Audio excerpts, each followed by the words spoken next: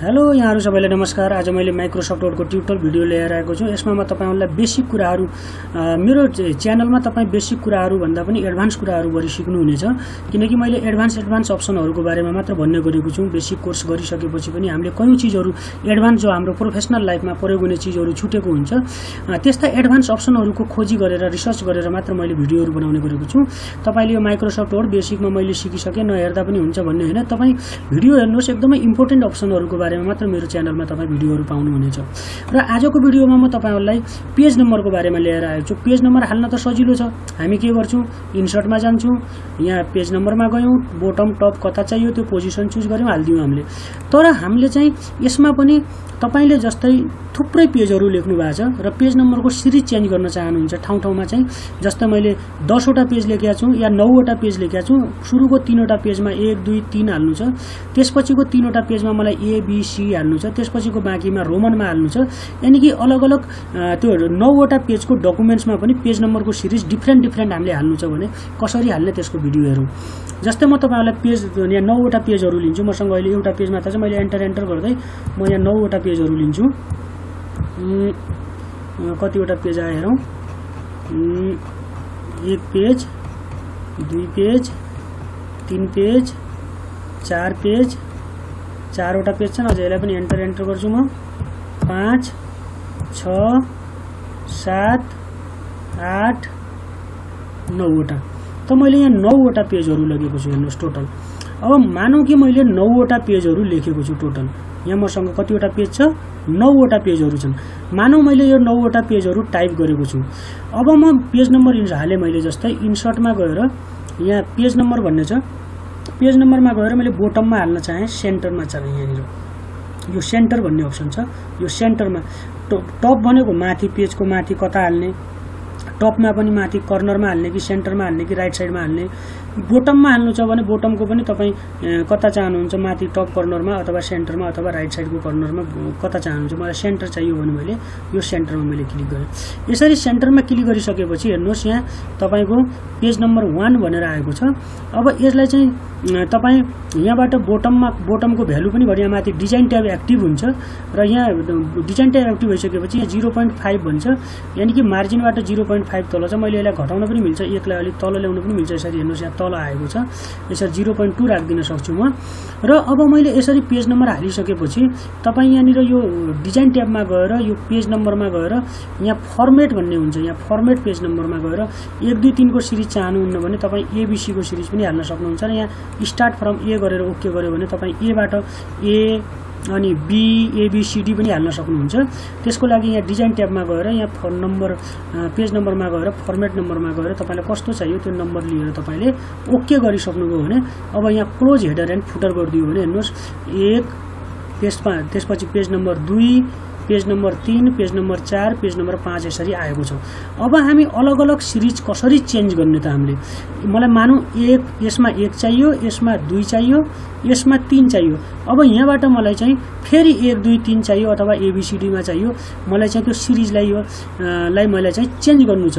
त्यसलाई मैले कसरी चेन्ज गर्ने त?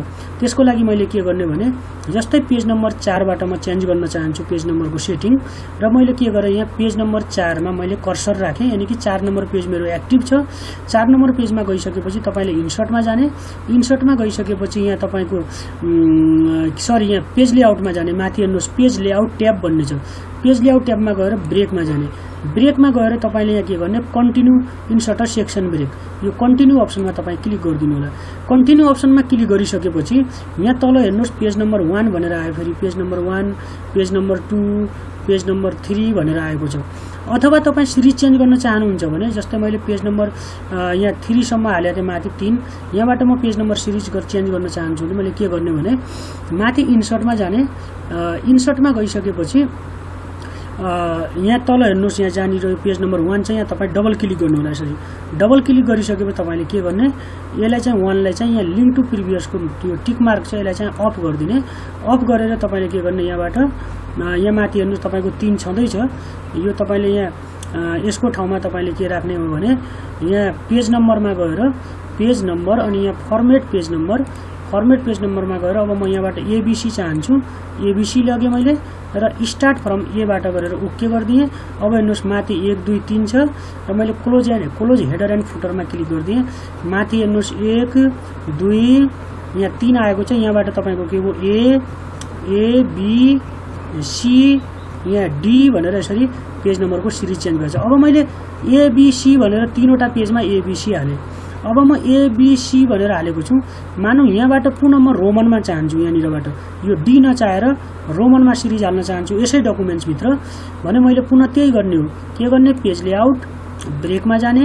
ब्रेकमा गएर कन्टिन्यू भन्नेमा अप्सनमा क्लिक गर्ने कन्टिन्यू इन्सर्ट सेक्सन ब्रेकमा क्लिक गर्नु होला क्लिक गरिसकेपछि यहाँ तल जुन ए आएको छ यसमा डबल क्लिक गर्नु होला डबल क्लिक गरिसकेपछि तपाईँले यहाँनिर सो लिङ्क टु प्रिभियस भन्ने जो हाइलाइट भएको अप्सन छ त्यसलाई अफ गरिदिनु होला र अफ गरिसकेपछि तपाईँले यहाँ कुन फर्मेट हाल्ने यहाँ गएर तपाईँले जस्तै मैले यसलाई यहाँ हेर्नुहोस् माथि एबिसी आएको छ।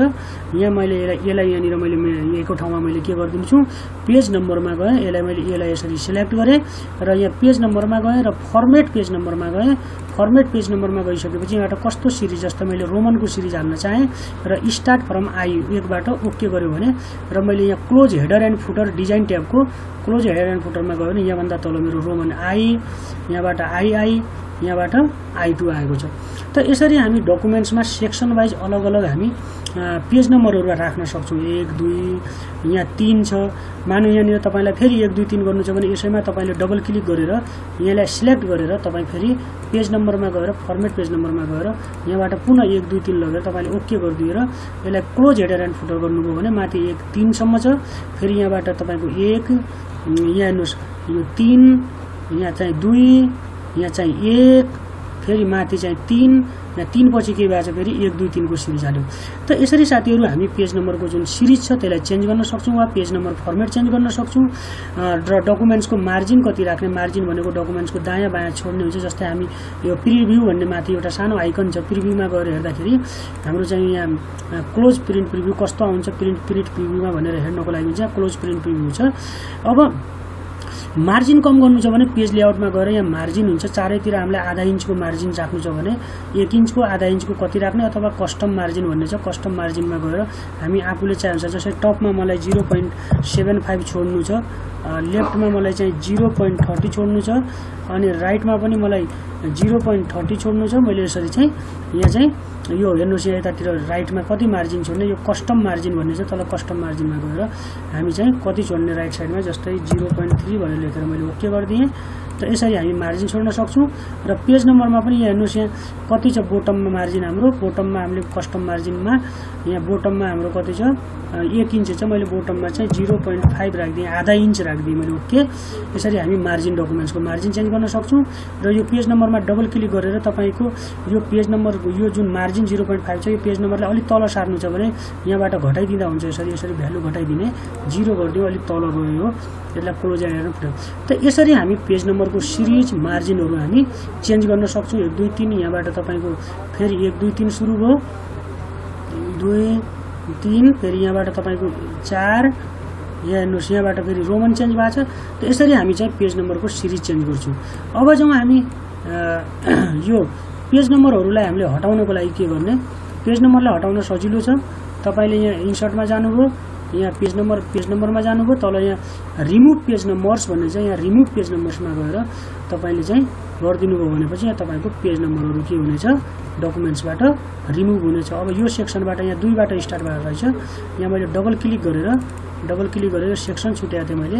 यहाँ page number format format page नम्बरमा गएर स्टार्ट फ्रम वान गरेर ओके गरिदिनु भयो भने फेरि तपाईँको अनि कहाँबाट हाल्ने तपाईँले इन्सर्ट इन्सर्टमा गएर पेज नम्बर कहाँ राख्ने बोटमको सेन्टरमा राख्ने भनेर हालेर क्लोज गरिदिनु भयो भने फेरि तपाईँको चाहिँ डकुमेन्ट्समा चाहिँ पेज नम्बरहरू आउनेछ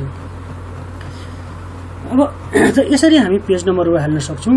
र यसबाट तपाईँले कसरी प्रत्येक डकुमेन्ट्सको प्रत्येक एउटै डकुमेन्ट्सभित्र भएका सम्पूर्ण पेजहरूको पेज नम्बर कसरी सिरिज चेन्ज गर्ने त्यो तपाईँहरूले सिक्नुभयो। र यस पछिको भिडियोमा म तपाईँहरूलाई एउटा छुट्टै टपिक्सको बारेमा लिएर आउनेछु। आजको भिडियो यति नै राखौँ हस्त नमस्ते।